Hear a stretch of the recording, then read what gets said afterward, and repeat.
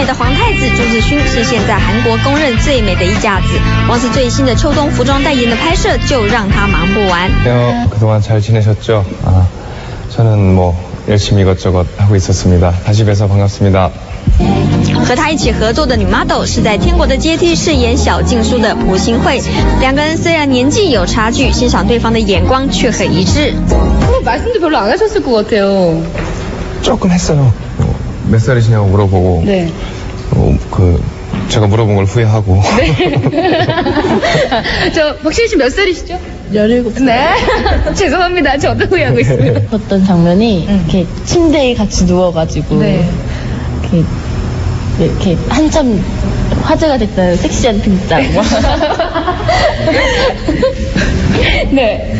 에이, 그 그런 거에서 또 섹시한 등장했다. 에이, 그. 제가 무슨 시인지는 정확히 기억이 안 나는데 네. 이렇게 하얀색 원피스 같은 걸 입고 이렇게 다 젖으셨어요. 예, 어, 젖었어요. 네, 예, 그리고. 응급실 같은데 누워 있었던 거- 씬이었는데 사고를 당했는데 옷이 이렇게 좀 조금 야했던. 어.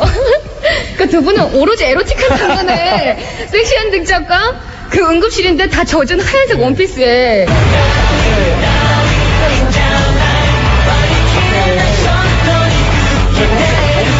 어, 달리기도 좀 하시고 운동 좀 하시고 몸 관리하시고 건강한 여름 나세요. 올여름 더위 조심하세요. 건강하세요. 娱乐新闻黄秀华综合报道。